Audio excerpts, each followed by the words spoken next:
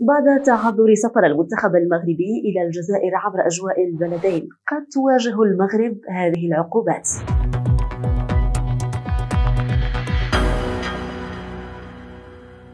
في اتصال هاتفي مع جريدة مدار 21 أكد محلل رياضي أن المغرب قد يواجه مجموعة عقوبات بعد عدم مشاركته في النسخة السابعة من بطولة إفريقيا للاعبين المحليين التي ستجري أطوارها بالجزائر في الفترة الممتدة ما بين الثالث عشر يناير الجاري والرابع فبراير المقبل. واضحا أن قانون الكاف واضح في مسألة عدم المشاركة مشيرا أن الفصل الثمانين من النظام الداخلي لبطولة كأس أمم إفريقيا ينص أن الانسحاب من البطولة قبل انطلاق المسابقة أم أثناءها يستوجب تسليط خطية مالية بقيمة 150 ألف دولار أمريكي بجانب عقوبة المنح خلال النسختين اللاحقتين من بطولة كأس أمم إفريقيا. بالمقابل تطالب مصادر من الجامعة المغربية بمعاقبة الاتحاد الجزائري عوض إنزال عقوبات على المغرب.